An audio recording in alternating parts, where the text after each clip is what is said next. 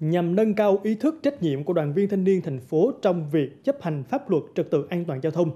Chiều nay, Thành đoàn Đà Nẵng phối hợp với Ban An toàn giao thông thành phố tổ chức chương trình tưởng niệm các nạn nhân tử vong vì tai nạn giao thông năm 2021.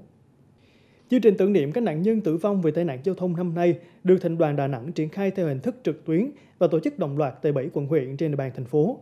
Thông điệp của chương trình là cảnh báo về những hậu quả của tai nạn giao thông để lại cho mỗi nạn nhân, gia đình nạn nhân và cho toàn xã hội.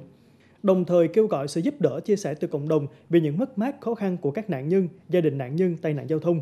Bên cạnh hoạt động tuyên truyền trực tuyến về các kỹ năng an toàn khi tham gia giao thông, dịp này, đoàn viên thanh niên tại các địa phương sẽ đặt hoa và nến tưởng niệm các nạn nhân đã tử vong vì tai nạn giao thông. Thông qua đó, cảnh tỉnh nhắc nhở cộng đồng cùng chung tay góp phần tạo ra một môi trường giao thông an toàn để những tai nạn thương tâm không còn xảy ra.